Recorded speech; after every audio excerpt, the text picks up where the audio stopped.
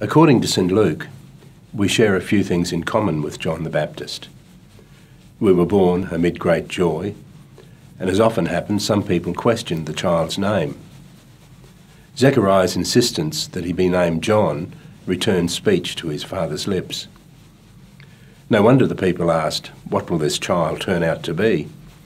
What proud grandparent doesn't entertain that same thought?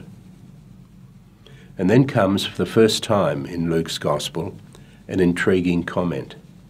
They were all astonished. Years later, when Jesus was no longer a boy, he'd respond to that comment with, Don't be amazed. For the most astonished, astounded, and amazed people are people who are easily swayed they can become an ugly crowd chanting, Crucify him, crucify him. To be astonished is to be wound up by the energy of the crowd. It's evident in the hysteria surrounding the state of origin, with apologies. We can catch glimpses of it at rock concerts. And it's there in political rallies, even at times in Aussie, Aussie, Aussie, oi, oi, oi. Like the people of John's day, we can get carried away by flimsy, though forceful chants.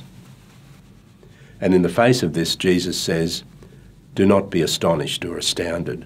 Refuse to be mindless citizens. Broaden rather than narrow your thinking. Do not be astounded. Instead, reflect, ponder, find alternate ways of reaching and reacting to the energy of the crowd. St Luke notes that John the Baptist lived out in the wilderness until the day he appeared openly to Israel.